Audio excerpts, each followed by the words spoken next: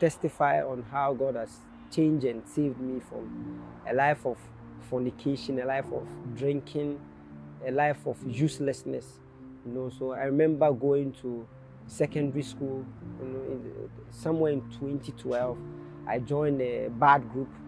I didn't meet the right friends, and then um, it led to a life of following friends, bad friends, drinking alcohol, you know, eating weed, drinking weed tea, and it was too much. Had a lot of girlfriends, bad friends, didn't study in school, you know, did a lot of bad things, you know, till at a point I was very depressed, you know, very sad.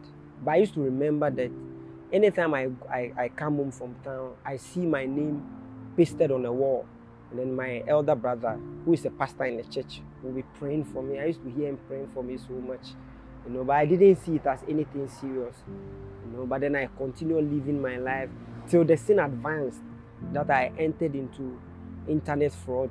And I used to browse, I used to have clients who send me money uh, every Friday. You know, I, I had money. I, I even send sometimes I send my brother tithes to pay for me. So one day I was I was I was staying at Choco. I used to work in a guest house, and then in the, in the late in the night, I, I don't know how, but I tuned my radio to sweet melodies. Then I heard Bishop Dag preaching in one of the days. Listening to the man, I became very interested in the message, and then the following day, I went back to listen to the message again, and I kept listening. I kept listening so much that at the point I had my own Makane. Even though I was in the world, I was listening to the Makane. Even though I was in the world, I had my own podcast, listening to almost all the messages. Then I realized that the things I was doing, eh, it was coming down. Then, the sin was coming down. But then I was not going to church. Till another day, my brother invited me to church. But I followed him to church. Then I think after service, service was I, I really enjoyed the service. After service, I complained that the bus didn't move early. So I, I gave him a strong warning that I will not come to this church again. You know, but I woke up the following week wanting to come. You know, and I kept coming, I kept coming. I remember so much that you know my life got so changed. I got so transformed. At the point I sent, I even sent the call of God on my life. You know, I went to the Bible school in 2019. Uh, tried to make myself useful, useful to God because of the call.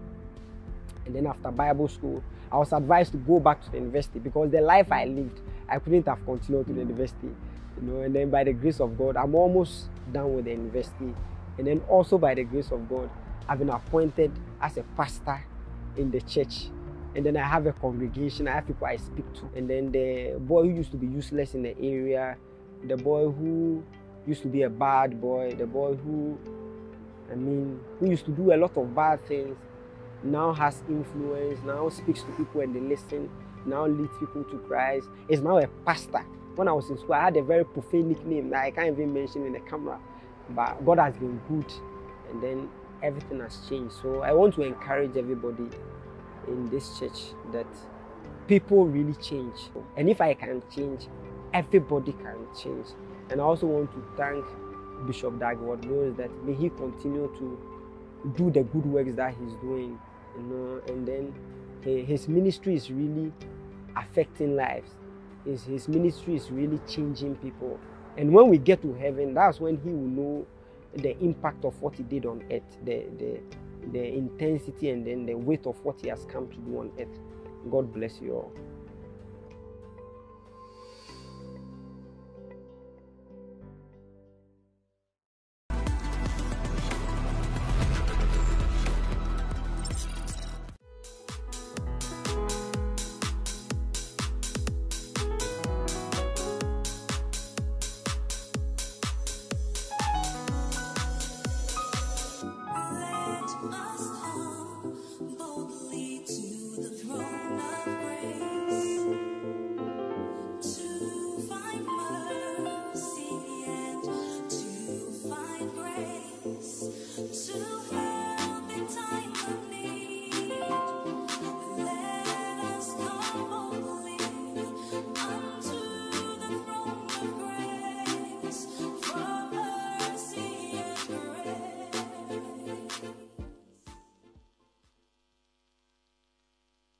I am a soldier at the battlefield, waiting to hear the voice of my commander. Oh, Jesus, if you call my name, I will answer a billion times. I am a soldier at the battlefield, waiting to hear the voice of my commander. Oh, Jesus, if you call my name, I will answer a billion times. I am a soldier at the battlefield, waiting to hear the voice of my commander. Oh, Jesus, if you call my name, I will answer a billion times. Who is calling my name? Oh, Jesus is calling my name. Oh, Jesus, if you call my name, I will answer a billion is calling my name? Oh, Jesus is calling my name. Oh, hey, Jesus, if you call my name, I will answer. Let me hear. Hey,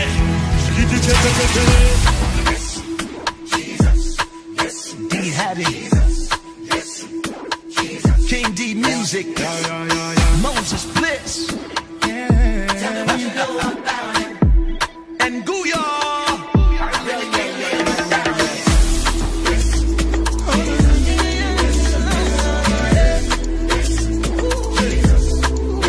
international singer. Yeah, I'm a kingdom believer. Yeah, I was born in America, but my roots from Africa. I dance to the rhythm of love.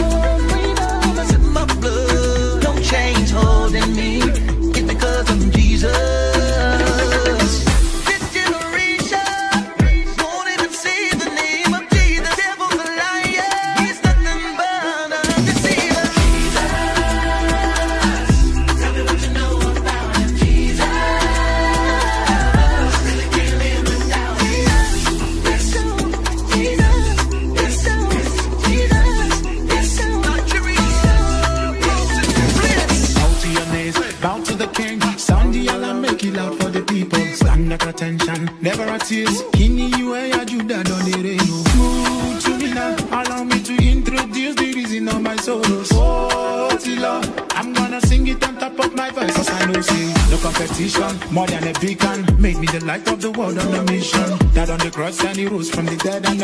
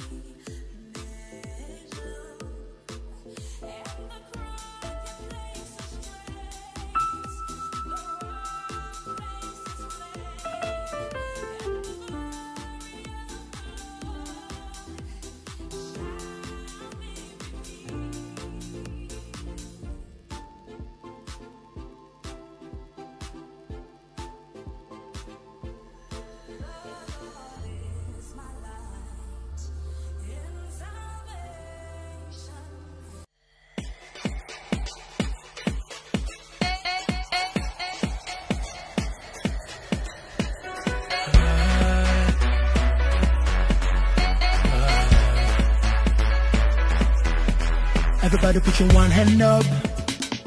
If you know, say you know no defeat. oh. Put your one hand up. If you know, say you cannot be stopped. I'm a winner. I'm a winner. Doesn't matter what the situation. Go say or go tell you. Make this bold confession in the face of Wahala. God is there, my side. He will never leave, oh. And I'm an overcomer. I don't know defeat, oh. Everything I do, every word I say, everything I touch,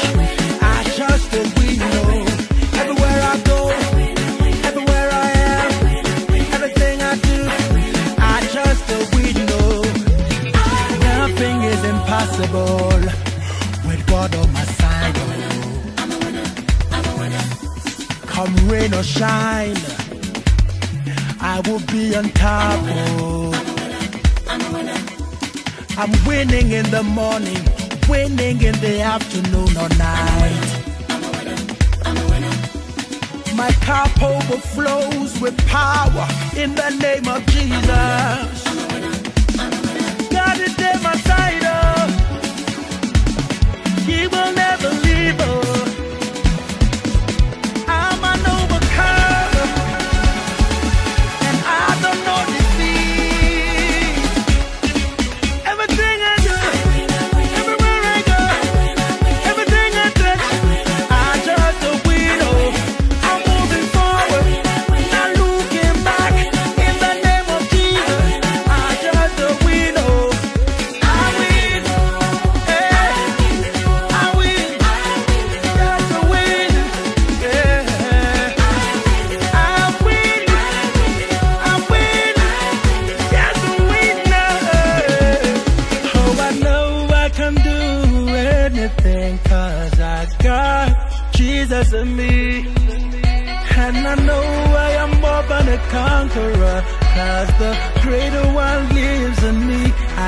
champion.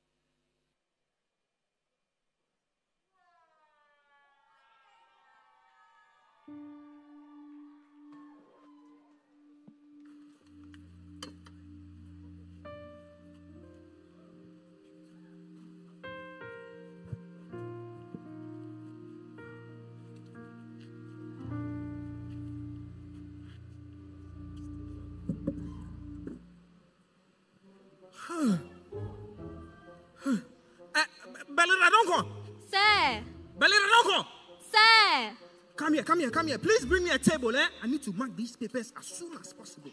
Because. Belinda, don't go. Sir, sir. Don't have your time to waste, though. Hurry up and put these things down. Look, be smart, eh? You're a young lady. oh. How many times have I told you? Eh? Belinda, don't go. Sorry, sir. Look, uh, I need to get some things done first in the common room. So I need you to stay with these papers for me. Make sure that nobody, eh? I repeat, nobody comes close to any of these exam papers. Do you understand? Yes, sir. Nobody should cite it, even you. Sir, but I can't. I can't. Hey, Belinda, don't go. Yes, sir. I said what? No nobody should. Nobody. Okay, I'll be back. Sir. Belinda, don't go. Sir, but it's break time, oh. Ah, and so So I'll, I'll watch the papers. better for you.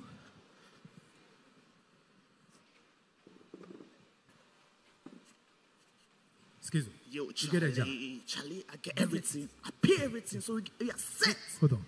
The new girl. She be fine. She be my type. She be my type. Hey, wait. What's up? Hold this. Wait for me. What's for there?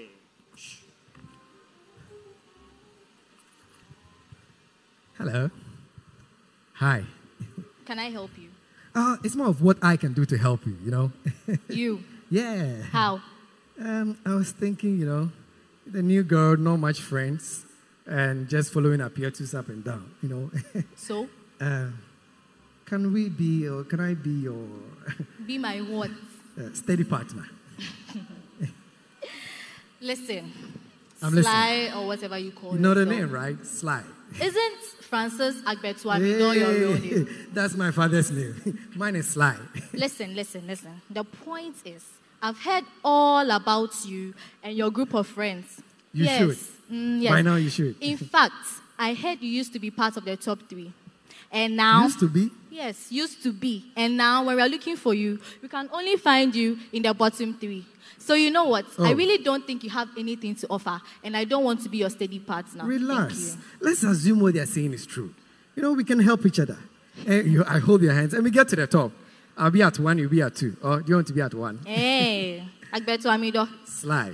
So, assuming I accept whatever this is, Just say yes. first of all, we'll have to exchange numbers, right? So keep in touch Okay, and then during prep, we have to sit together, right? so that we can learn. Okay, and then after prep, you'll be like, oh, let me escort you back to your dormitory, right? I'm a gentleman. Mm. And then when we get to the dormitory, you'll be like, oh, can I get a hug? And then there will be this awkward silence, and then our lips would accidentally meet, right? That would be a bonus if it happens. Agbetu Amido. Sly. And then the next day, you come and be like, oh, I'm so sorry. I didn't mean to. It was a mistake. Expecting me to be like, oh, I know, it's fine. Right? hey, Agbetu Amido. Sly. And then during vacation, you would invite me to your house under the pretense of a steady partner. And then when we are all alone, we'll get all touchy feely, right? Hey, Agbetu Amido. Sly. And then when we come back to school, I'll finally ask you, oh, so what are we? And then you tell me, oh, but we were only having fun. I mean, we are only steady partners, right? Pinning the responsibility on me, whether to stop this nonsense or to allow you to continue using me, right? Uh, can we forget it? Agbeto Amido. And then you will eventually start dating another girl in my class, leaving me all depressed, confused, so that I will drop from the top three to the bottom three, just like you, right? Uh, for, forget it, okay. Listen to me very carefully, Mr. Agbeto Amido. Sly. I don't want this small conversation here to destroy my entire future. I don't want to be your steady partner. Look at you. You are such a joke. Excuse me. Baby, come down. Close your mouth, close your mouth. Close your mouth. I'm the vibes cartel. Allow me to do this. Charlie, the girl give me showdown. Shall it time to go. Look sharp, I beg, sharp. stay on the door. Let me change this exam paper quickly. This one to fuck up, okay?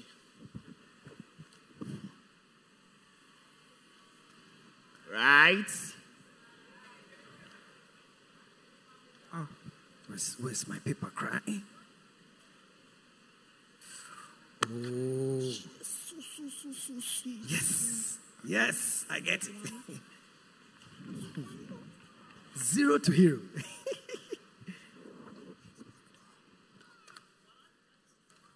Oh, Tomido! Tomido, what are you doing here? the name is Sly. Francis Agbetuamido. Sly, sir. I'm just checking my, my so marks. This is what you've been up to now. Francis Agbetuamido. Sir, Sly. Come here. Sir. But you, I remember you when you first came into this school. Did you have to do that? Ah, but you Sir, used to be a good boy, Francis Agbetuamido. sir, Sly. Now this is what you've been up to. Hey, I thought you were among the top three students in this class. One of the very best students you've ever had. Now you are failing so much that we have to turn the paper upside down before we see you at the top three. Francis Agbetuamido. Sly. Hmm. I see. What does the Bible tell us in 1 Corinthians 15 33? Huh? It says, Do, not, be deceived. Bad company corrupts good morals. Sir, I remember. Yes, you see, a lot of people are deceived into thinking the kind of people they associate themselves with will not have an effect on them. But you see, God is not mocked. Francis Agbetuamido. Sly. Hmm. Look, I am going to punish you for this, and I'm going to take you to the headmaster. Oh, sir, I You beg understand? you. Sir, let's settle it here. I beg you. Oh, We should settle what? Oh, oh, Look. sir. Don't let me take you. Listen, read this book. I read a chapter, chapter 5, on bad company. Thank you, sir. Do you understand? I understand. Francis Agbetuamido? Sly. Yes. You're serious. Mr. Come Cletus. on. We Oh, are yes. still going to the headmaster. Oh, I'm, I'm reading the book. I don't care what you are reading. Francis Agbetuamido. Ah! Sir, Sly, please. oh, sir, I beg you. Come on. Sir, You're please. serious.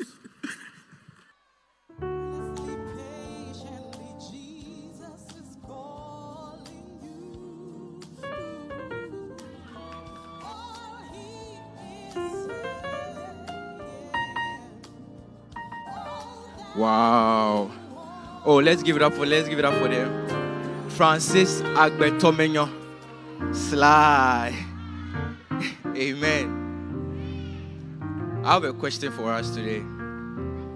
How many of us here believe we are honest people? Honest, show by hands, show by hands. Honest people. Oh, I yeah. Ah, oh, okay, okay, okay. I have a question. All right. Do honest people rob God? Malachi chapter 3, verse 8. Do honest people rob God? but you rob me day after day. This is God speaking, oh. In case you don't know, this is God speaking. Malachi chapter 3, verse 8. God is asking you, do honest people rob God? And he's also saying that you rob him day after day. And I know that as you are sitting here, you're asking yourself that me, dear, small boy like me, as I'm I don't even join dancing stars. As I'm in church, I don't even do anything. I'm just I'm just around. How then do I rob God? They give me 20 cedis, I come to church, I pay five cedis, and I go my way. How, how then do I rob God? How then do you rob God? And God knows that this is the question you are asking. And He's saying that you rob Him in the tithe and the offering. Look up, look up. The exclamation mark over there is saying that God is angry. He's vexed at you. That you come to church and then you keep your tithe and then you keep the offerings because you haven't given it to Him. And then He's vexed. How many of you want God to be vexed at you? Tell your neighbor, don't let God be vexed at you. Oh, say it again. You didn't. Don't let God be vexed at you. And now you are under a curse, the whole lot of you, because you are robbing me. Bring your full tithe to the temple treasury so there will be ample provision in my temple. Test me in this and see if I do not open he- open up heavens itself to you and pour out blessings beyond your wildest dreams. Say wildest dreams. Yeah, I know some of you have very very wild dreams. You know, today I asked I asked some of my members members I asked some of my members what is uh, their wildest dream. Okay, and one of the guys said that he, he's a footballer. Okay, so his wildest dream is that he will score the winning goal for Ghana in the World Cup final. well, me, I, I, you know, generally speaking, I don't think that is possible. You know, but that's his wildest dream. Eh, that's his wildest dream. oh. Like a, a wild dream is a dream that it doesn't make sense. It's wild. Like the word there is wild, and that, that's his wildest dream. So, uh, and, okay, okay. Do you want to know mine? Do you want to know mine? Oh, you don't want to know? okay. My wildest dream, okay, is that is that I will have a very big church with a very big parking lot with only Rolls Royce. Yeah, it- it should be white. It should be white. If it's not white, don't bring it. If it's not white, don't bring it. That's my wildest dream. And you see, God said that He's going to bless you beyond your wildest dream, provided you pay your full tithe. Tell your neighbor, full tithe. It has to be full, not in half. Mm. So if they have sent you 300 cedis this week and you come to pay 20 cedis, it's not. Yeah, some of you they've sent you 100, uh, 300 cedis, and uh, you have spent the money. And right now it's left with 10 cedis. Eh, and you're thinking about it. How then do I go back? But anyways, how many of you want God to bless you beyond your wildest dreams? Beyond your wildest dreams. Now take out a powerful offering, a very powerful offering. It's an offering for wild dreams. An offering for wild dreams. Amen. Put your hands into your, your purse, you know, where the money is. Our beautiful airport stars are here. Oh, give it up for them. Say, wow. Are they not beautiful, eh? All right. So let us let us be lift up our hands. We are praying. Father, in the name of Jesus, we thank you for this seed. The Bible says that you give the seed to the sower. Lord, even as we sow our seed, we pray that you bless us beyond our wildest dreams. In the name of Jesus. Amen. Let us rise up and come and tap, tap, tap the basket. Say tap, tap. If it is physical, put it inside, inside. Yeah. Those at the back, I see you coming. I've been a Christian for so many years. Oh, I see you too. I see you. God bless you, Bishop. Wow. Hey, there are lots of black shirts today. Oh.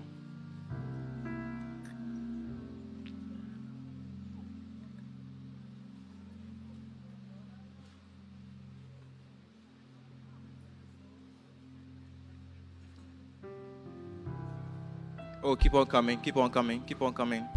Wildest dreams. Wild, wild dreams.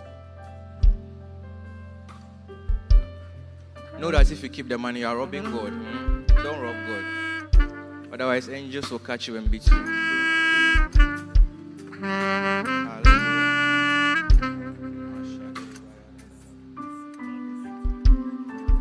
Amen. Thank you, Roland. Keep clapping, keep clapping, keep coming. Beautiful, beautiful. God is blessing us beyond our wildest dreams. Hallelujah. Keep coming. All the way. Even if you gave by mobile money, come and tap the basket.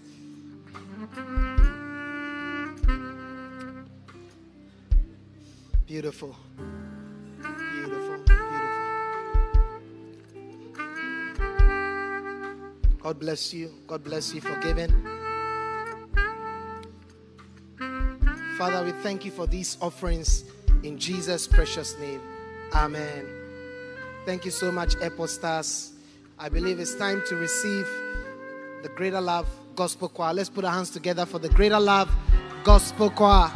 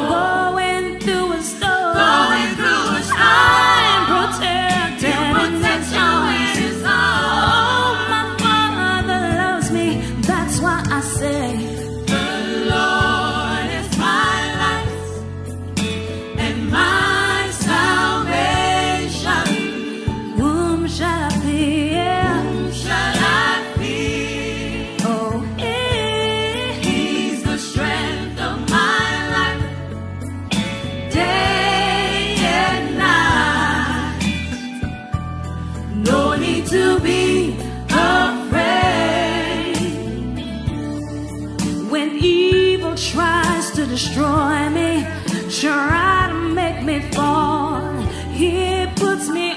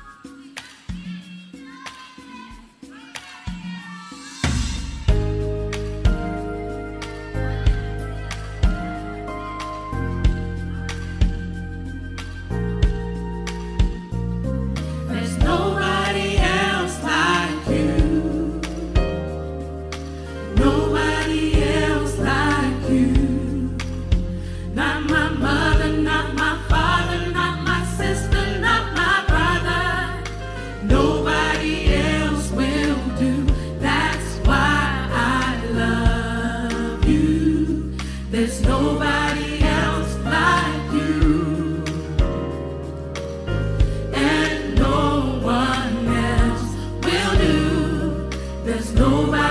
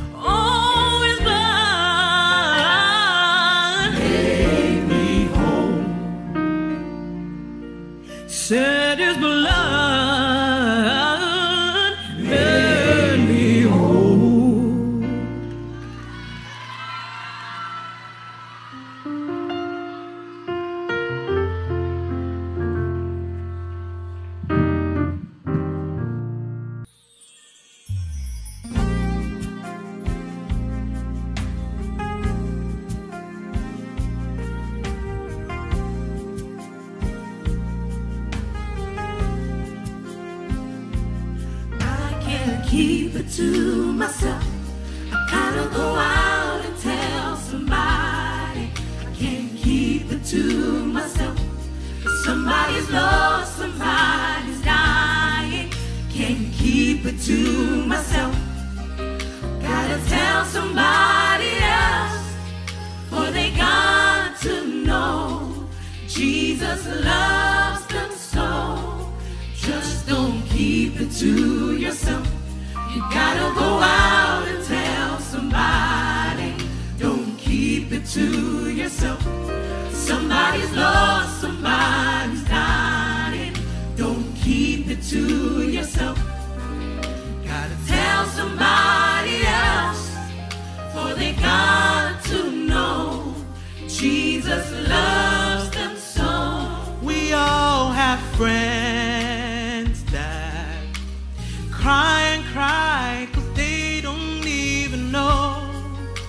there's a God who is willing to help them bear the load. They don't know that He cares and He'll see them through their darkest nights.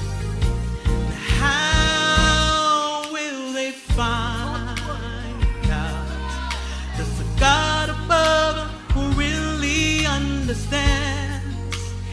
Can heal broken hearts if you just give him a chance. I must go, we must go and let them know.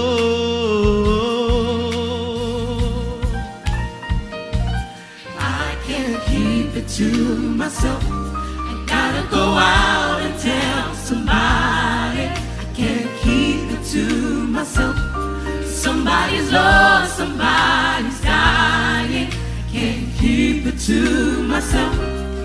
I gotta tell somebody else, for they got to know Jesus loves them so. We all have friends that cry and cry they don't even know there's a God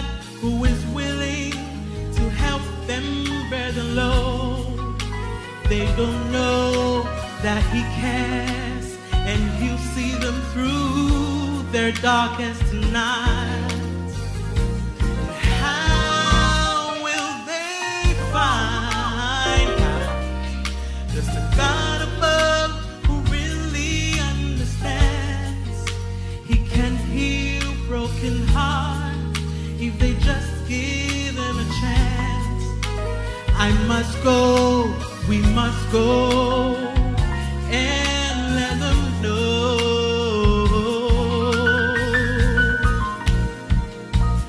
I can't keep it to myself. I've gotta go out and tell somebody. I can't keep it to myself. Somebody's lost, somebody's dying. I can't keep it to myself. I gotta tell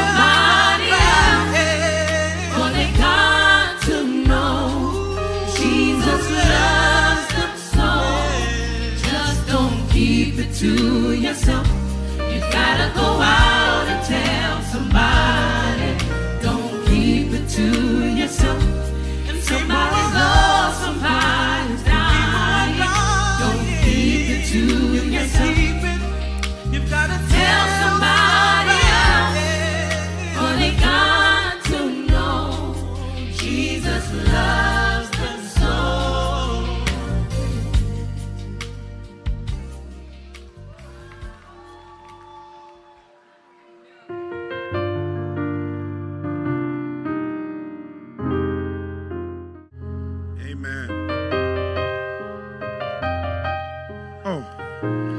that you can't hear me? I said amen. Okay, now just the people under the balcony. Can I have an amen? No, you see, uh, it sounds very weak. Under the balcony, amen. Okay, under the balcony, please stand to your feet. Please stand to your feet. Okay, you see, you see, you see some people there. So it shows you are not even listening to me. Okay, now under the balcony, wave at me. Wave at me. God bless you. Okay, it's time for the word of God. And usually, you are the last to stand up. So today, I want to encourage you to stand up first. Amen. It's time for the word of God. Are you excited? Now, today is a special day. We're not, can, can you let the people come in? Open the open more doors. Pastor Joel, can you help? There seems to be a blockade at the back. I don't know what's going on. Amen. Today is a special day. I don't want to tell you why it's special. I'm going to allow Prophet to tell you himself why it's special. But you are in for a treat. Amen. Now, when you say you are in for a treat, it means you are you should expect something nice to happen. Okay? In case you want to presec. In case you want to presec, in for a treat means like something nice is about to happen to you. Amen. So I want you to relax. Today is going to be an experience. It's not, it's not going to be much more than a service, it's going to be an experience. Amen or no amen? Yes, it's going to be like a honeymoon.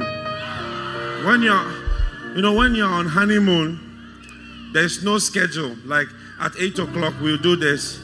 And then at 10 o'clock, we do this. Then we, we take a break at 1. And then you just flow. That's why we say, that's why we say, I want the honey. I, I, I can't sing it. I forgot how to I, I, I want the honeymoon to go on. I want the honeymoon to go on and on, on and on, on and on, and on, and on. I'm praying for. Oh, Charlie, why are you testing me on stage?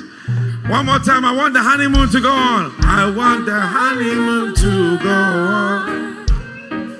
It sounds like some of my friends used to smoke weed too, but it's a spiritual song. On and on, on and on, on and on, and on. And Bishop Henry, you don't look like like something is going on. You look very serious.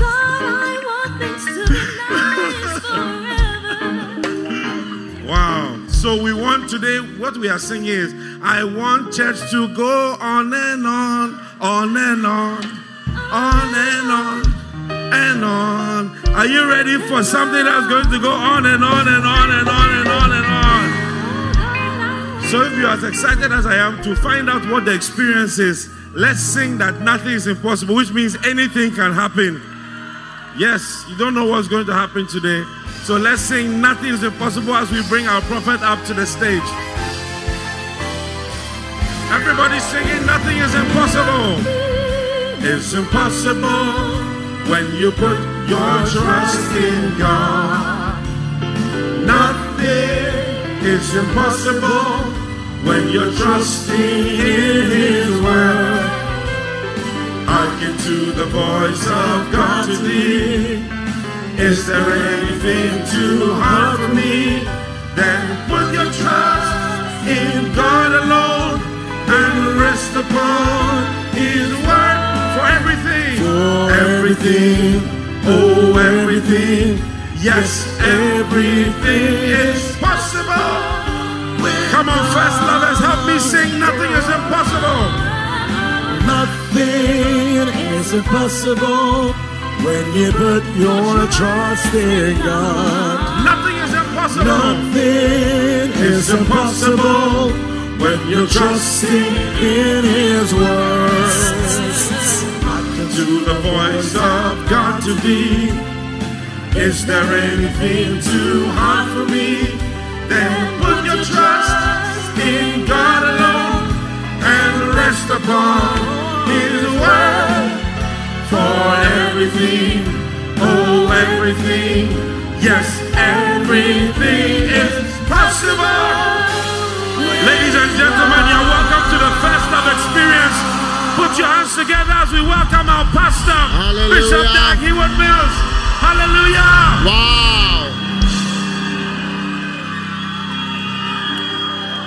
Let us let us pray.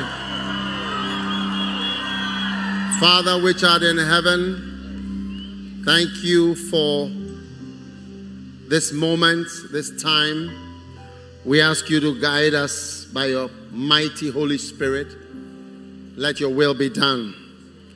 Lead us by your Spirit into all truth, all of your word, all of your ways. We are grateful, O Lord. In Jesus' name we pray. Amen. You may be seated.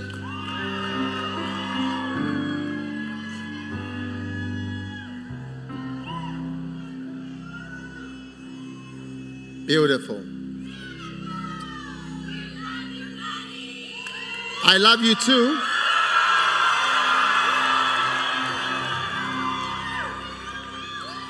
Right.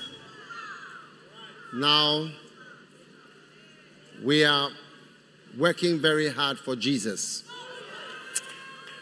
Amen. Are you ready to continue working hard for Jesus? Thank God. This morning, I want to share with you about suffering, losing, sacrificing. I want to share with you about the cross of Jesus Christ. Amen. Matthew 16, 24. And let us read from verse 22. Matthew 16. Then Peter took him and began to rebuke him, saying, Be it far from thee, Lord, this shall not be unto thee. Now, but let's read from verse 21. From that time forth, Jesus began to show unto his disciples how that he must go unto Jerusalem and suffer many things of the elders and chief priests and scribes, and be killed and be raised again the third day. Amen. So Jesus was supposed to suffer many things from pastors, that is, elders and chief priests. Chief priests are senior clergymen and scribes Scribes are people who write, writers, specializing in defamation.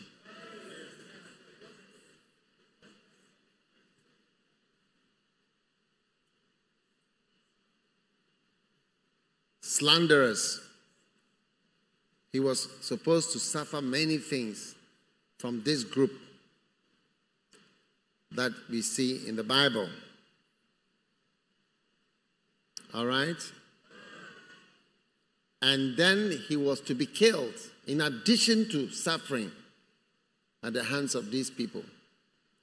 The suffering wasn't that he would be killed, he was to suffer at their hands. Then, after that, he was to be killed and then be raised again on the third day. All right? Now,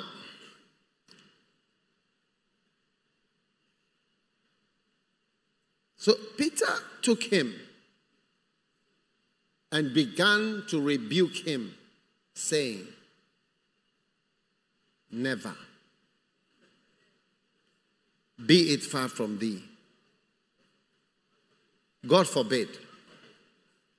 This shall not be unto thee. Amen.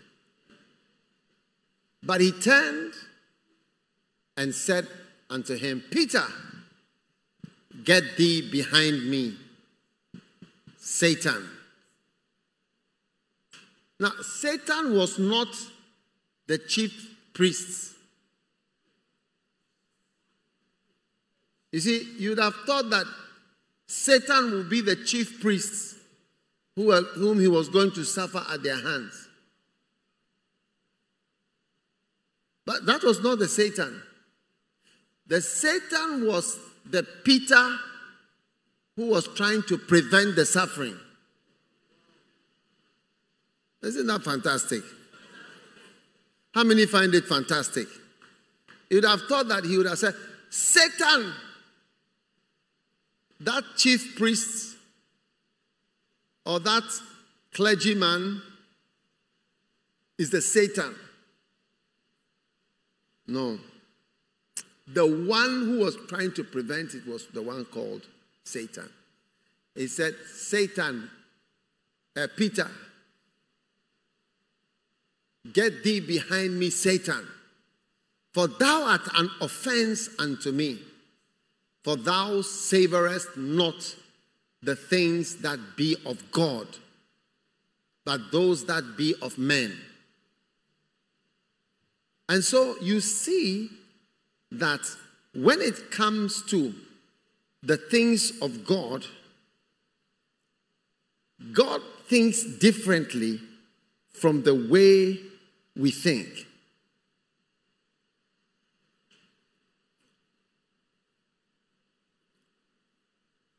Verse 24. Then Jesus said unto his disciples, If any man, any man will come after me, let him deny himself and take up his cross and follow me. Amen. So, I don't know if Keziah can still sing the song, Take Up Thy Cross. I hope she got the words right in case we need it. Is she there? Find her.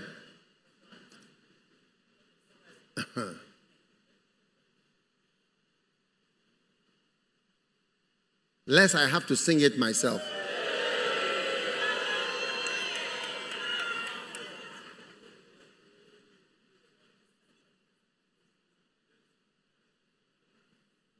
But let's let's go back to verse 22. Then Peter, no, no, verse uh, 21, sorry. From that time, Jesus began to show to his disciples how he must go to Jerusalem and suffer many things. He must. Now, the greater your ministry, the greater the suffering. And the lesser your ministry, the lesser the suffering.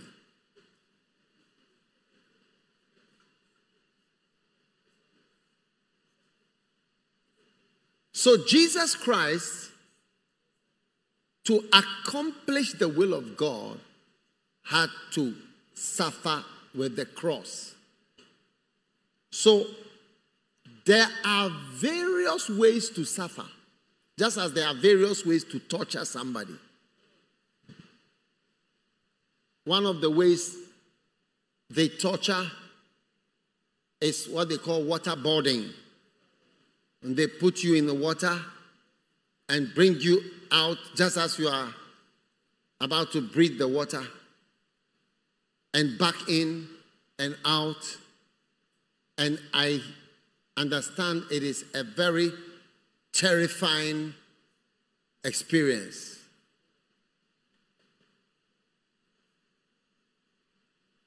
Another way, they put you out in the snow.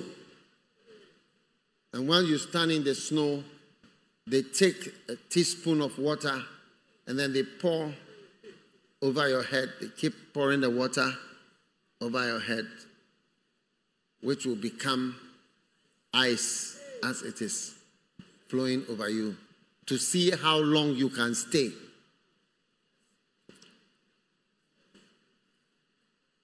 Another way is to remove your nails,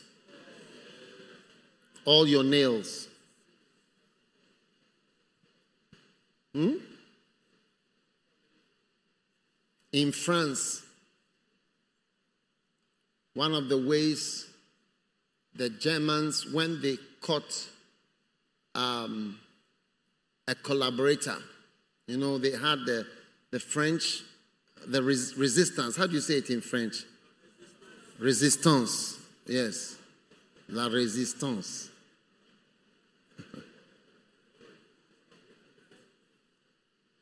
they had to resist the Germans because Germans had taken over the whole of France. And they, they resisted them. And so, but they would bow to them and greet them publicly. But they were resisting. They would blow up their offices and sabotage the railways and all kinds of things to resist the Germans. If they caught you, they had a helmet they put on your head and then they screw it. And as they screw, it gets tighter until it, it, it cracks. It, it cracks the skull. Oh, yes. There, there are many ways.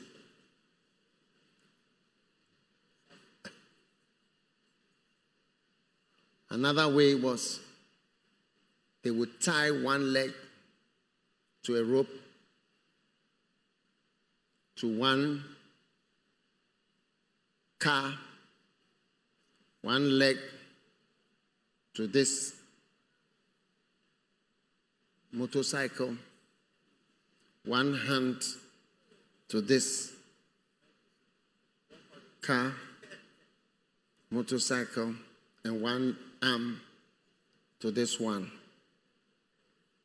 Do you see?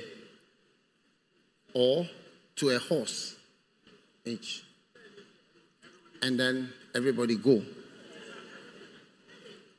Oh, yes. Different ways. Another way was to bury you alive with only your head up. So your head, like if it's on the floor here, you see your head out like a like a cabbage. here, here, here, here. And then when they put you in the ground, they will have about 10 riders, horses. And then they'll gallop this way. Yes. If it misses, it goes and then it comes back. I mean, assortment of inventions. And there, there is a museum in, in London called Madame Tussauds. They used to show, I don't think it's there anymore, but they used to show the different methods of torture that they've ever used before. Different. Pray about it. That is why many of them had cyanide capsules. When you capture them, they just chew because it's better, it's better to die than to some of the things they, they do to the people. Oh, yes. Now, in the same way, there are different ways a person suffers. When you are serving God, there are different ways by which you suffer. Because suffering is like that. Suffering has um, suffering has versions and variations and types by which you suffer. Yes. So,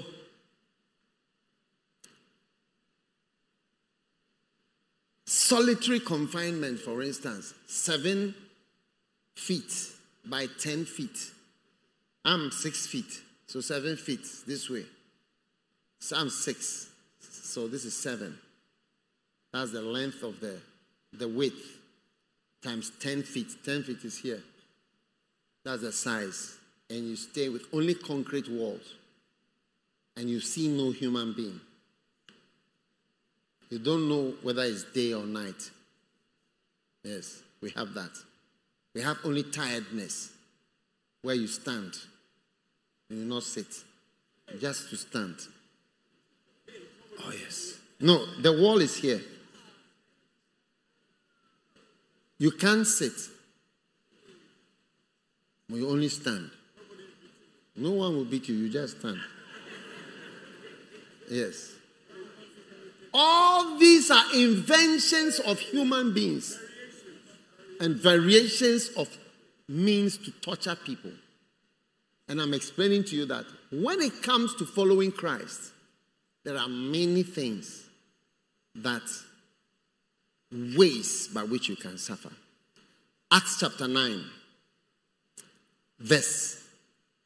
Let's look at verse 15. Then the Lord said, He spoke to the prophet, Go thy way. Or no, let's read from verse 11. The Lord said, Arise and go into the street, which is called Straight, and inquire in the house of Judas for one called Saul. For behold, he prayeth, and had seen in a vision a man named Ananias coming in and putting his hand on him that he might receive his sight. Then Ananias answered, Lord, I have heard by many of this man how much evil he has done to thy saints. And here he has authority from the chief priest to bind all that call on your name. But the Lord said to him, Go thy way, for he is a chosen vessel unto me to bear my name before the Gentiles and kings and the children of Israel. Verse 16. For I will show him how great things he must suffer for my name's sake. So, to be to be called and to be chosen will always involve some kind of suffering. Like I was trying to explain, various types of things induce suffering till you know what it is.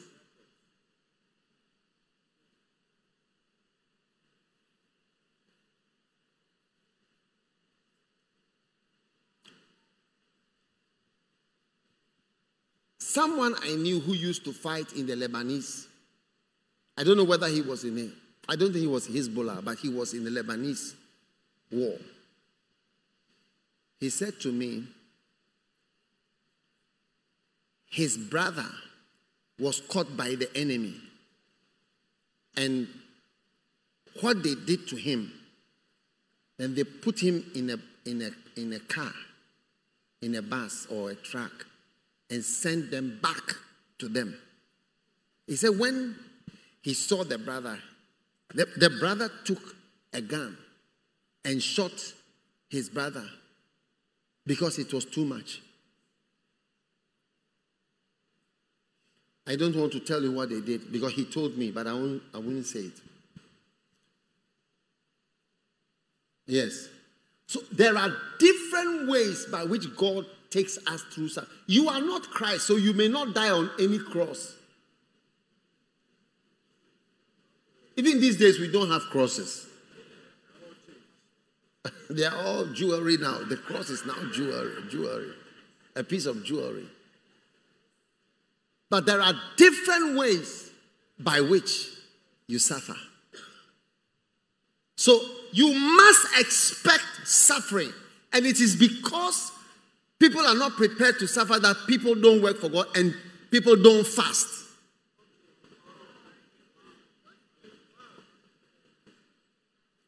Fasting must return. There must be fasting. Tell your neighbor, we are going to fast as a lifestyle. Yes. So, fasting may be the type of suffering that you will be expected to go through. You may not have to die on the cross, but it will be something for you to experience. And this is the reality. When James McKeown James McKeown, who came to Ghana, there was a prophecy. Somebody called him and told him, You, you will be a missionary in Africa. And he told him, Listen, I've not, I've not heard of any such calling to my life. Yes. He, he was told with somebody at a meeting. He said, No, no, no, no, no. I haven't received such a calling. But after some time, he came and owned up and said, I've accepted it. I'll go. And when they were going to send him to Ghana, he was coming to Ghana. They delayed his coming to Ghana by one year because they were, uh, they said they were, they didn't have a house for him to stay. So they were preparing his accommodation. So after one year, he got on the ship and came to Ghana. When he arrived, straight to Asamankese. Oh, yes. And when they got there, the house was not ready. Yes, after one year of preparation. so they said they put him in a, a type of house which they describe in the book that I read as a compound house. It was a compound house to share with everybody. Straight from Europe, 1937. Oh, yes. Different experiences for different people. But the first thing, verse 16, I will show him how great things he must suffer for my name's sake. If you have come to know God and you have come to be in the ministry, the first thing is to know what you must suffer. What you must suffer for God. What you must suffer.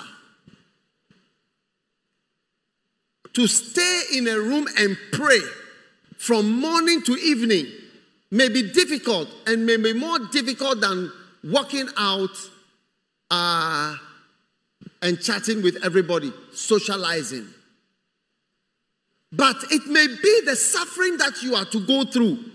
That may be all. But you will be surprised that it will take a toll on you.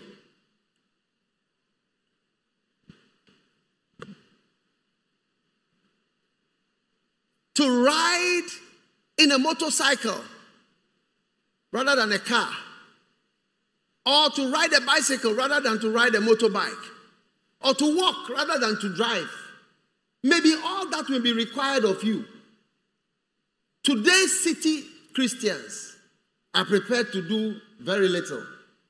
But I want to tell you, especially all of us who are young enough to hear, there is nothing like God is calling you without suffering. Yeah. So, where you see that we cannot pray for a long time, you cannot fast, you cannot go somewhere and be somewhere for God, you got a problem.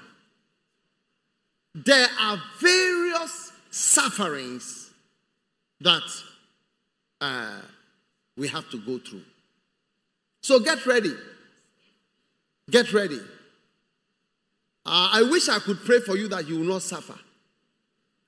But the greater the calling, the greater the suffering. It says, I will show him what things he has to suffer for my sake.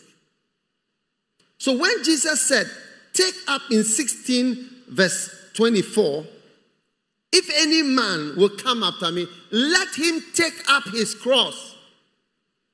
That means that he has to take up humility because the cross speaks of humility. Let him take up obedience because the cross speaks of obedience. let him take up suffering. Let, he should embrace it. He should hold it. Let him take up shame. Let him take up bad experiences. Embrace it. It's part of ministry. I will show you how great things he must suffer. Like, like, like the, that's the first thing is what you will suffer. Hey, when Paul was speaking about the fact that he was an apostle, he said, The signs of an apostle, the signs, the signs of an apostle were wrought in me. What is the first sign? Patience. That word means constancy. Constancy. Constant, but with C and Y. It's not a name, it's, it's, it's, it's a word. Constant. You go through, you go through, you are still persisting in whatever God has for you. I'm ready to survive. I'm ready to suffer. I'm ready to go through. I'm ready to experience whatever the style of variety of variation of suffering God has chosen for me. I'm ready for it.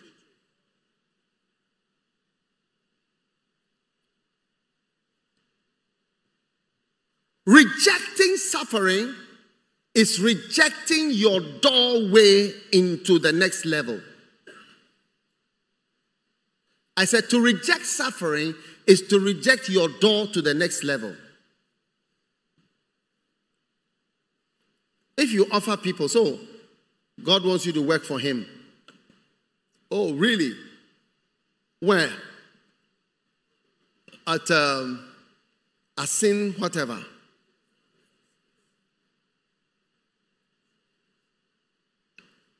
uh, my mother, my father, my grandmother, my husband, my friend. No, but when, when I say it's a special package to Ontario, Canada. Last week I, I showed some people Canada. You should have seen the crowd. If I had announced a Assin Manso, or I had announced another far place, which is not even so far, you would have seen people will not because they are rejecting any possible difficulty of suffering of any type or what they perceive to be. And when you reject that, you reject your door. Because the Bible says that through much tribulation, through much tribulation, we must enter. That means that tribulation is a door. Acts 14 22. Tribulation is a door. It's a door through which you go higher. It's a door through which you learn war.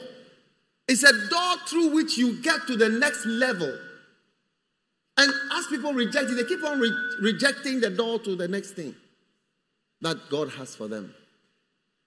So, dear friend, you can never, never, never say that you reject the cross. You have to accept whatever variety of suffering God has chosen for you. Maybe your suffering will be to make a big sacrifice of money or of a house or a car or something, or even just a privilege that you say, Oh, no, thank you.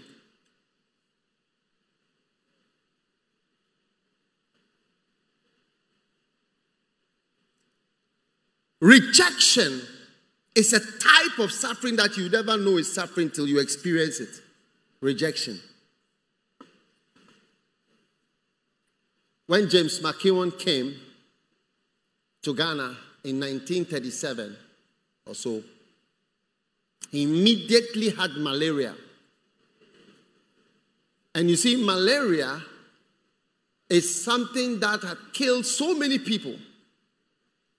But by that time, the church which he was part of, apostolic, had reached a point where they had also come to believe in miracles.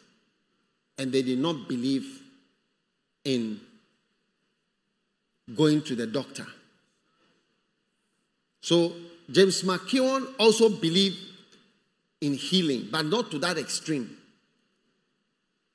But as he lay in Asamankese dying, somebody reported it to the British commissioner who was based at Chebi, Kibi, that this British man has just come and he's dying.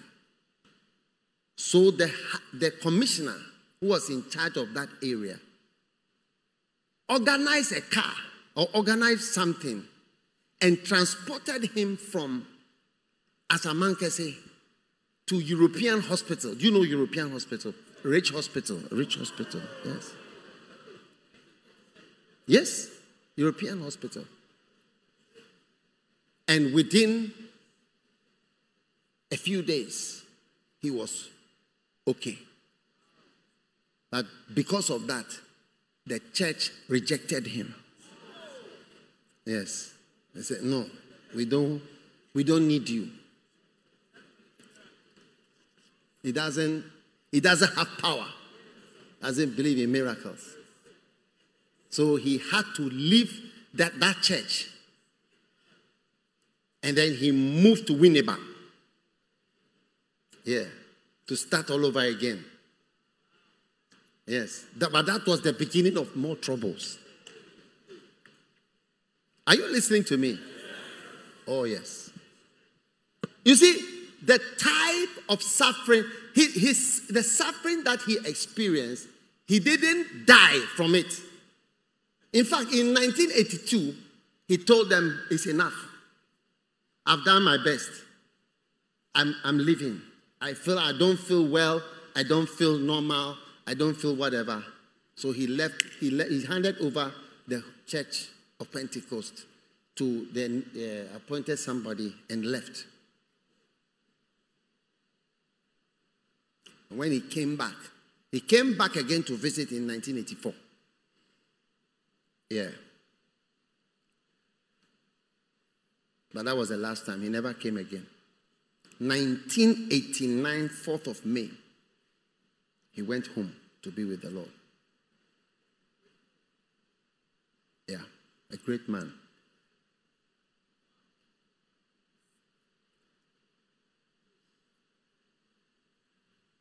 In 1988, the Lord had anointed me and said to me, From today you can teach. Yes. Yes. It was less than a year.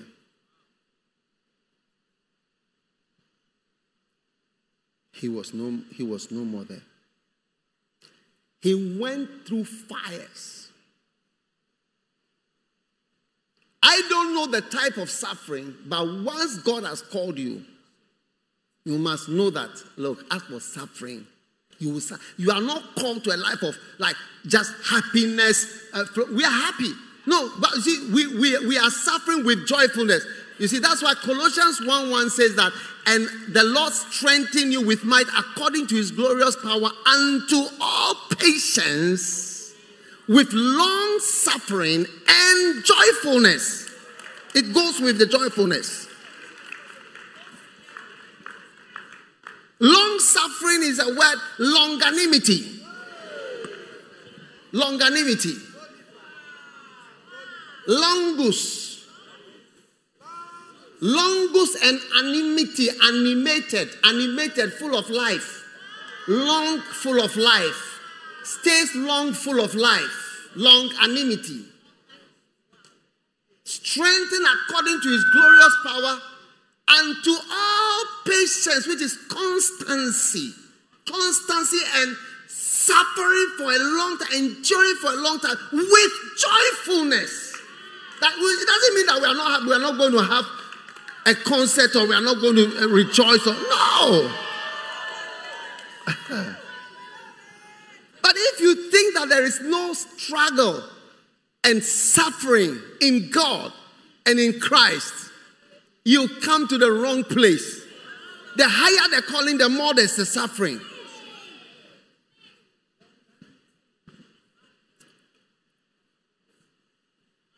Different kinds of sufferings. When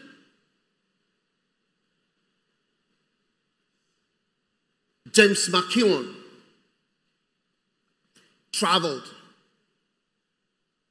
abroad for vacation. He had a pastor called J.A.C. Anaman. He put him in charge. Oh, yes. And when he traveled one time, the Anaman took over eh, and said that James McKeown is out and that he is now the one, the new chairman the church. It wasn't called Pentecost, it was called something apostolic of Ghana, something. Yeah. He took over and ousted McKeown as he had traveled. Huh? Are you listening to the story? You see, there are different types of. So when he came back, he was able to reverse it. Yes, but that was not the end of the troubles. Some laymen, a group of them, they came together and they said, No, that time Ghana had just had independence. And they came with the slant white man, black man. That, you know, things in Ghana must be run by indigents. You know what is indigent? Bring it on the thing because I read that word in the book indigents. We have a right to manage our own affairs.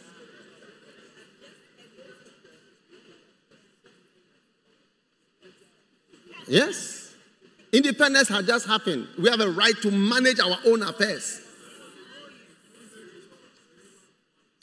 So they created trouble for him and intensified the issues and escalated the matter to the level of the government.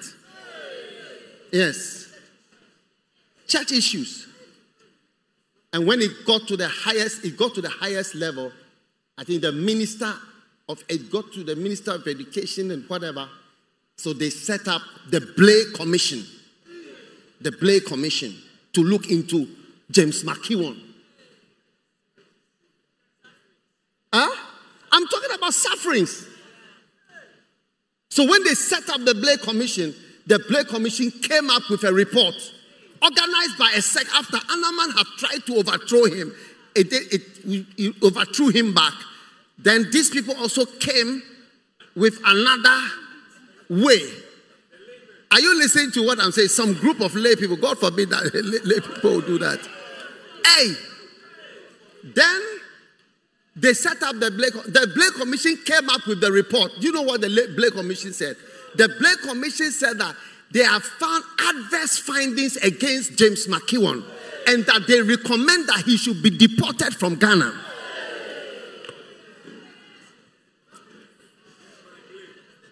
Yes. You see, he was the focus, just like Moses was the focus. He was the focus of the attack. They wanted him out. So they sent it to Kwame Nkrumah, who have just become a president, for Kwame Nkrumah to sign the deportation order.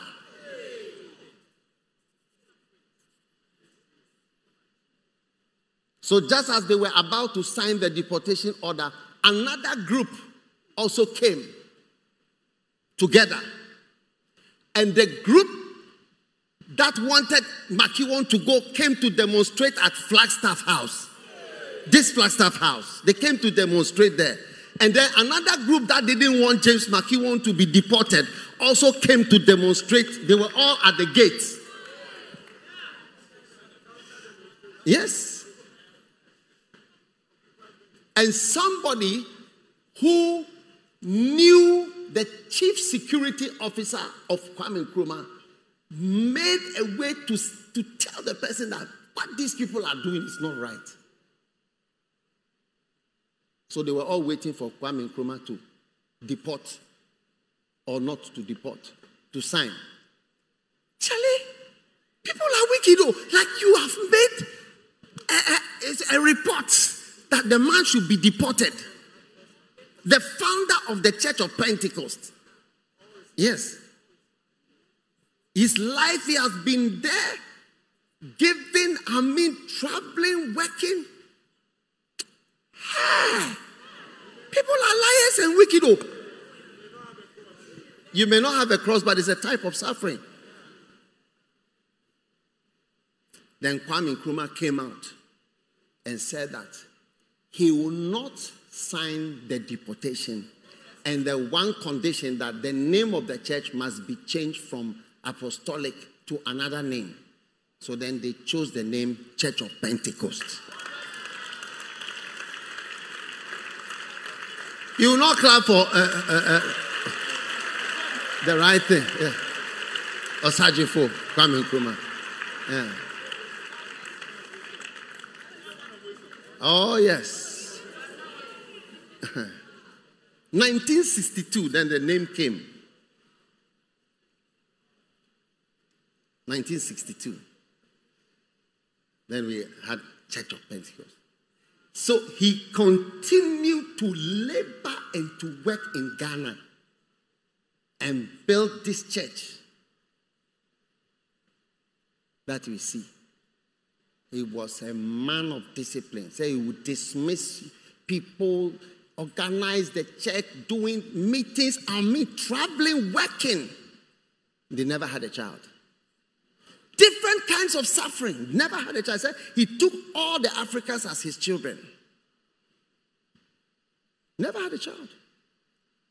I'm explaining to you that there's nothing like Christianity without suffering. And the greater the calling, various things are assigned. You would think that it is like natural or it is something that is just happening, but it is spiritual. And today, where are all these people? Where is Anaman? Where is the Blair Commission? Where are all these people? Where are the people that wanted to deport him?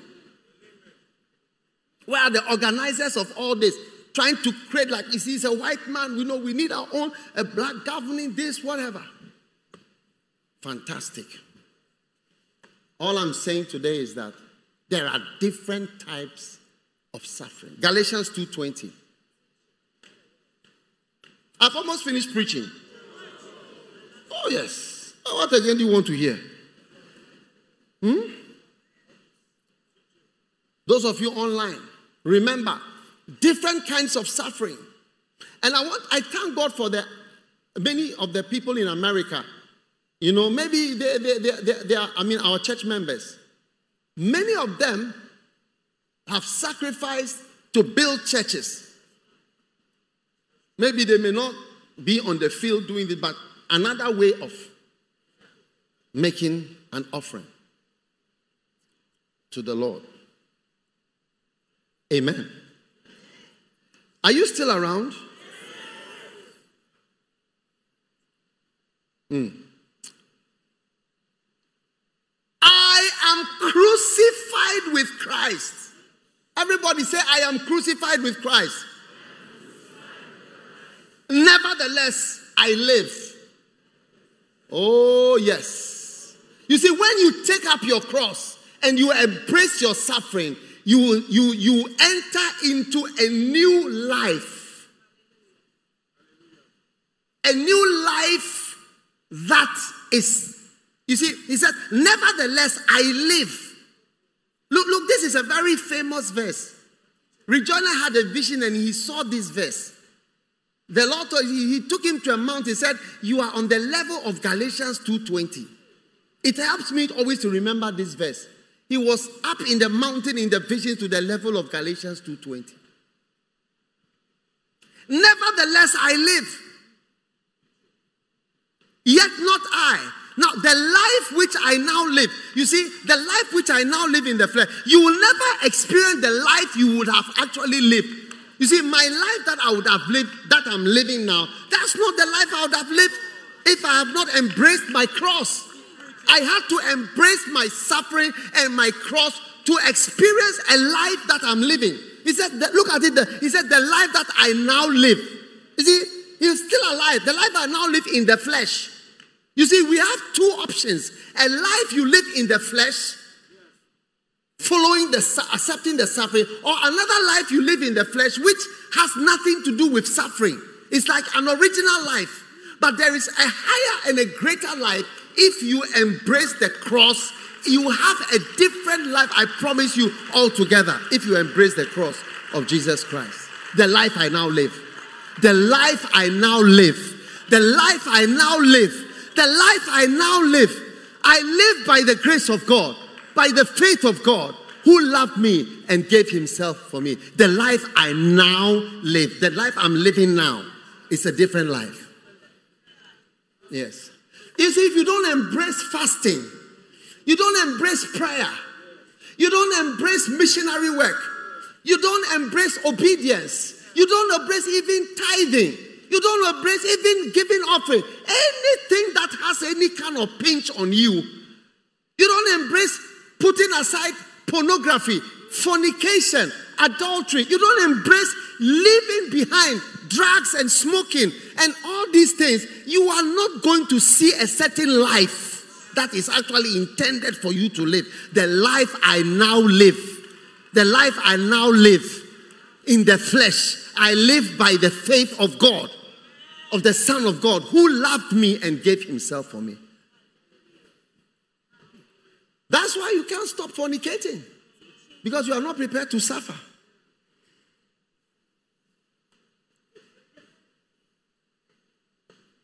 Are you still around or you are, you, you are leaving? Oh, yes. Lift your hand and say, I'm crucified with Christ. The life I now live. Say, the life I now live. Some of you can't even take an Uber to come to church. But you can take three buses to go to Paga to go and visit a boyfriend from Burkina Faso.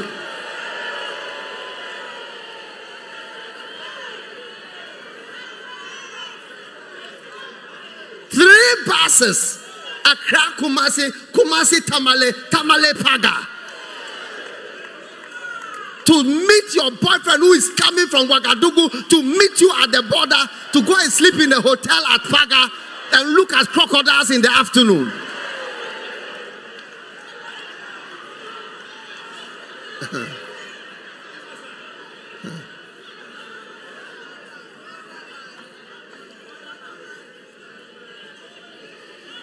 Galatians chapter 6, verse 14.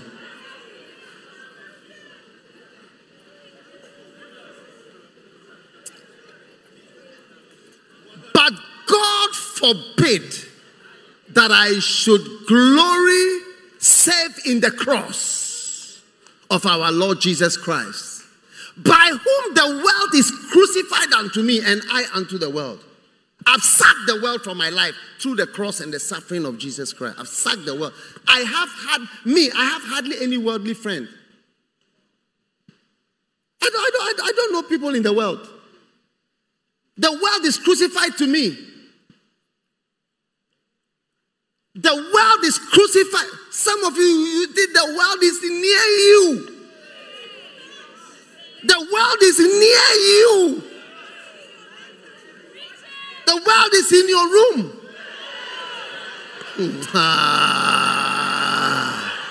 He said, By whom the world is crucified unto me, and I am also crucified unto the world. The world who don't see me.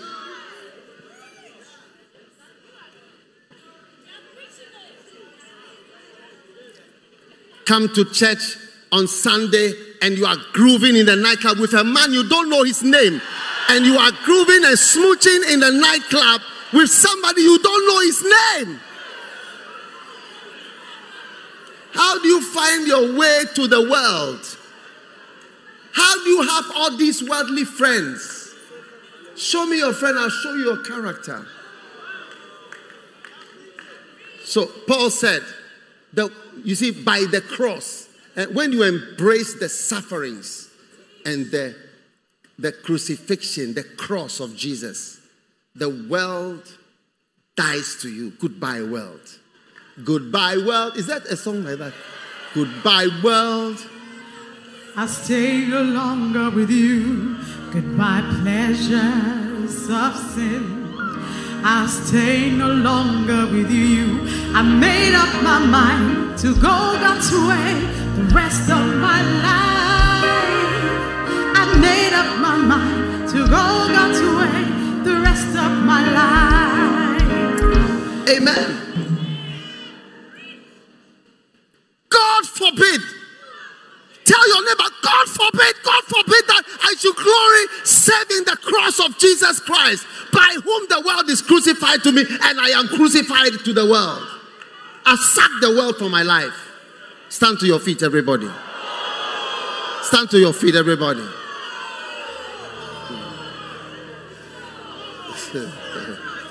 oh, yes. Oh, yes. I'm crucified with Christ. God forbid that I should glory save in the cross of Jesus Christ.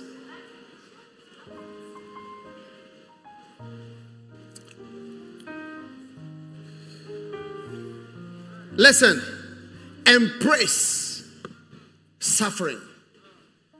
For a young lady whose heart has followed a deceptive man who has charmed you beyond the level that you ever know. And your heart has followed the man, and your heart has gone to the man. And you know, I must lay this man on the altar and burn him. To whom the world is crucified to me, and I am crucified to the world. And a new life will begin. Say goodbye to the world. Say goodbye to the worldly boys, worldly girls, worldliness, worldly dressing, worldly places, worldly everything. Say goodbye. Say goodbye. Say goodbye. Goodbye, worldly friends. Goodbye, worldly friends. God forbid that I should glory save in the cross of Jesus Christ, by whom the world is crucified to me, and I am crucified to the world.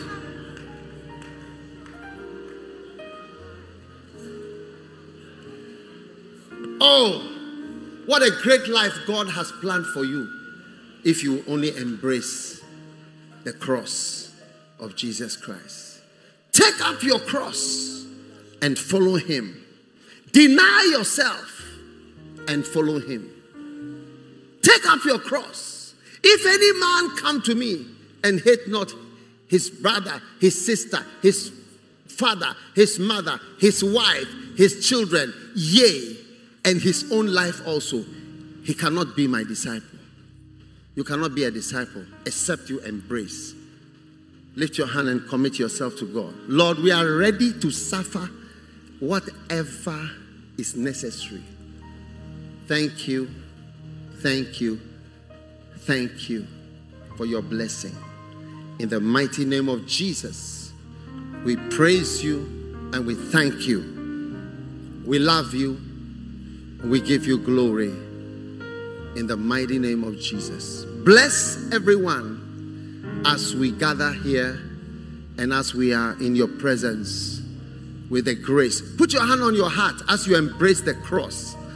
Pray to God for a moment yourself. Lord, I'm ready to follow and embrace whatever suffering and any experience, however you, however you choose, Lord. I'm ready to embrace that level of suffering for your name's sake. For tribulation is a door to your life and to your ministry. Thank you, Father. In Jesus' name, we pray. And for somebody here, even to say sorry is like a big sacrifice to you. Okay, then say sorry so that you may embrace the cross. Father, we give you thanks in Jesus' name. Amen. If you are here and you want to give your life to Jesus, maybe somebody invited you to church today, lift up your right hand. I'm going to pray with you right now. Pastor, pray with me. I want to give my life to Jesus. God bless you. Lift it up high. Father, thanks a million for your blessing that you give to us, for everyone who is giving their life to Jesus. If you are here today, Jesus is stretching out his hand to you. He says, Come to me, all ye that labor, come and take the cross and suffer for Jesus Christ. If you are here like that, wherever you are, lift your hand and come to me. I'm counting up to three. If you are here, I will pray with you. You want to give your life to Jesus. Where Jesus is calling. His grace will be your covering. His blood will flow freely. It will All right. provide your Let us pray. Say this prayer. Those of you who are in the front, say this prayer with me right now. Say, Lord Jesus, please forgive me for my sins. I give my life to God. Have mercy on me. I can't hear you say, Have mercy on me. Wash me with the blood of Jesus. Make me a new person. Cleanse me with the blood of Jesus.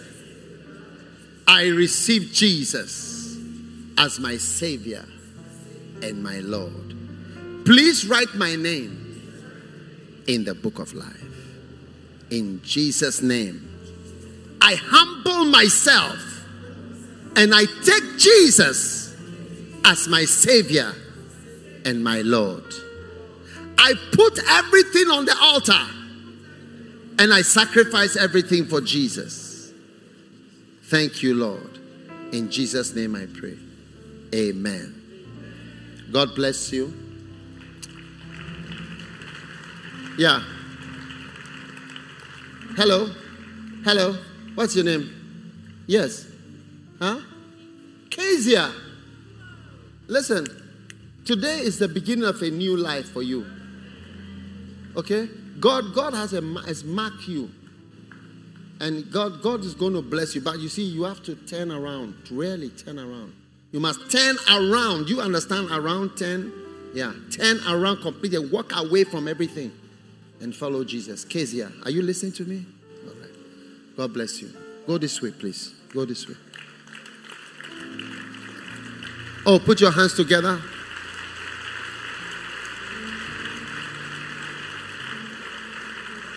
There's power here, I tell you. There's power here. God is blessing people, God is saving people. In Jesus' name. Take your communion. Take, eat, this is my body, which was broken for you. the body of Jesus Christ. May this bring you much healing and deliverance. The body of Jesus.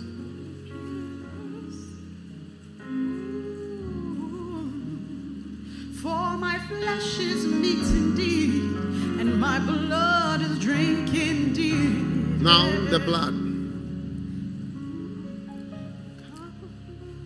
Now listen, God has shown me some people. You are in prison, but He told me that you are going to be let out of prison and redeployed. You see how in Russia they release prisoners to go to war.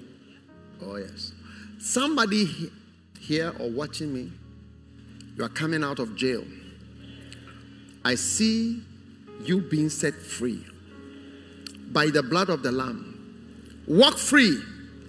Walk free from all your mistakes and your sins. The blood of Jesus Christ.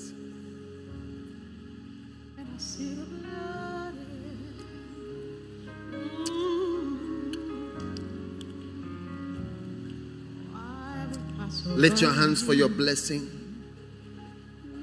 May multiplied blessings come upon you. May you walk free from every chain, every imprisonment, and every confinement. You are set free by the blood of the Lamb. The Lord bless you, and the Lord make his face to shine on you. Every anger of the Lord towards you is ended. May you now experience the joy and the pleasure and the favor of the Lord. I see somebody here, you are supposed to die. Put, everybody, put your hand on your head. Any death that is approaching you, in the name of Jesus, we cancel the spirit of death and every appointment with death. In the name of Jesus. Be delivered. Be delivered. Be set free. In the name of Jesus Christ. May you be delivered from every appointment with death. In the mighty name of Jesus Christ. Father, thank you for the grace. Thank you for the help. Thank you for the power. Thank you for the grace. In the name of Jesus Christ, be blessed. Right now, put your hand on your heart. May every disease in you be healed. I pray for healing for you. Healing, healing, healing from every disease. Be healed in the name of Jesus Christ. I pray. Amen. God bless you. You may be seated. I want to ask that people that are outside should be in. I see a lot of people outside ushering. Can you ensure that there's nobody on the street, not even one soul? Nobody. Just take your seats if, you, if there's a seat. We have 6,000 chairs, please. I believe you should be able to find a, a chair. And you see, we are expanding the hall because we want to have 8,000 chairs at least downstairs. Yes. So, huh? Yes, but I'm, I'm, I'm just interested. Upstairs people are some way, so I, I'm more concerned about downstairs. My soul is downstairs. Lift up and listen. Now, some of us must make the sacrifice. And we must have Sacrifice Sunday where we come with a special sacrifice and offering to the Lord. Amen. Are you ready for a special sacrifice? Amen. Lift your offering up. Father, thank you as we present this offering to you today in the mighty name of Jesus Christ. Thank you for this blessing in Jesus' name. Amen. And then now, before you do that, take out because of space. There's no space. When you move once, it becomes difficult to move again. So take out a booster. I know you've already given your offering. You are not even expecting to give another thing, but I want you to give a booster. Yes. What is a booster? A booster is 49%, and you need what? 1%, and you are a chartered accountant. Huh. May the Lord do it for you. Maybe you are a very beautiful lady, but you just need somebody to say, This is a good person. Because these days, the brothers, these days, the brothers, they don't trust just beauty. Brothers, do you trust beauty? No. Brothers don't just trust beauty. Say, oh, you're beautiful, but oh, you're, oh, you're dangerous. The beauty and the beast. So these days, brothers don't just trust beauty, they are wary. Amen. Father, thank you as we so take out your booster. I see somebody this week, something small will happen. It will make a difference. In Jesus' name. Bless us, O Lord, as we sow our seed today. In Jesus' name, amen. Rush to the front and put your offering in and rush back to your seat. God bless you. Oh, yeah, those of you online, I see almost 1,500 people online. God bless you for joining. And um, you can give. Hello? Hello? God bless you for joining. You can also give online. No, not that you can give. You are expected to give because you, you are on church online. You get what I'm saying? So give your offering and it's going to be a blessing. Don't just sit in your office and just be looking or sit in your house and looking. Give your offering. God is going to bless you mightily. Wherever you are, it's a real blessing. In Jesus' name, amen. Wow. Now, we're going to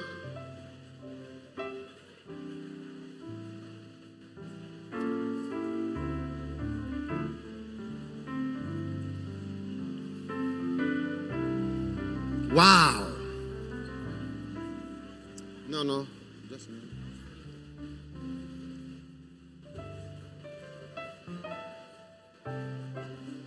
I see some buildings being dedicated also. I see a building called Paribu Paribu, no, no, Paribu Tabu, Paribu Tabu. All right, Paribu Tabu in the northern region of Ghana, financed by Lady Pastor Kathy Okran and Revival International, Essex, Maryland, USA. Thanking God that His grace has found us. May this same grace find others too. God bless you, Lady Pastor Catherine. Oh, look at your church you built. Glory be to God. Put your hands together for this amazing church building being dedicated. Number 462 out of 500 buildings. Wow. And that is the Bishop Ampofo dedicating this church in the northern region of Ghana. And then the next church, the next one is Baligibini. Baligibini. Baligibini. All right? And this one was financed by Mr. Eben and Mrs. Brenda Addo, Raleigh Church, North Carolina, USA, in honor of our parents, Mr. and Mrs. Justice and Susanna Addo, stroke Mr. and Mrs. Bernard and Tina Ofori. God bless you all for this amazing, great work you are doing. Amen. Paligbini Church, a road is being developed right by Paligbini in the northern region of Ghana. And that is the Archbishop cutting the ribbon and is building the poshest building in the area. Yes, it's our church building, Balibini.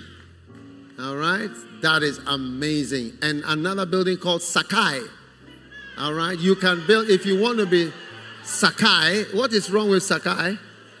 Okay, it's a special name, Sakai, financed by the children, Ghana, UK, and USA, in loving memory of Comfort Ampiwa Hajj, Hajj, and Emilia Theodora Brown. Amazing, amazing, amazing. Amen. And then this is Sakai, as you can see. Roads are being built in the whole nation. All right. The reason why we know it's a road is because you can see the go back. You can see the elec- electricity pole. They go by the roads.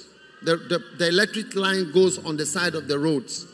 So that help you to know that it's a road that is developing. All right. Beautiful. Hmm. And it's being dedicated by Bishop Patrick Bruce. Beautiful. And the last one for today is Banu. Banu. Banu in the upper west region. Wow. Finance to the glory of God. First Samuel 18 17. Only be a valiant man for me and fight the Lord's battle. First Love Church, Accra, Ghana.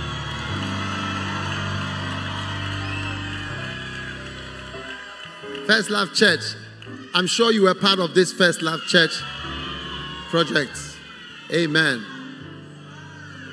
All right.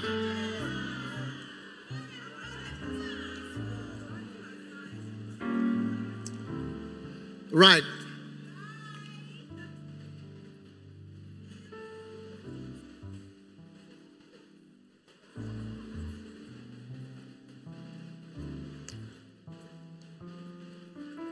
Now, we are going to begin our short concert. This is a very short concert. And um, that's a great blessing. Amen.